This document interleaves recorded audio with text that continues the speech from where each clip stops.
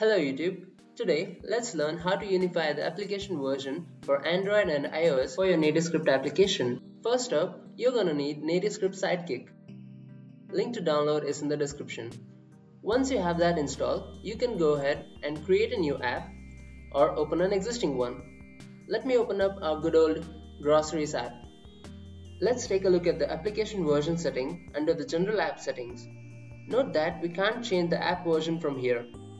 So if you click on need help, you'll be taken to this page where you can find instruction to unify the app version. I have written a JS bin that makes this easy for you. Link is in the description.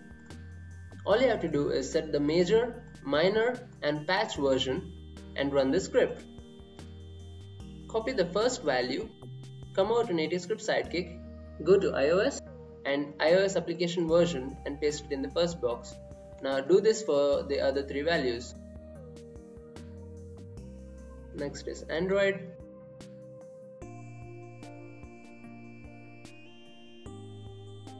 And the version code.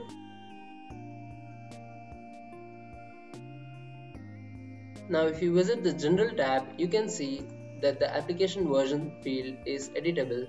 Now let's say I set it to 1.2.3 and click save you can see that the application version got updated on all the platforms. Thanks for watching. I'll be making more NativeScript tutorials, so be sure to subscribe for some NativeScript awesomeness.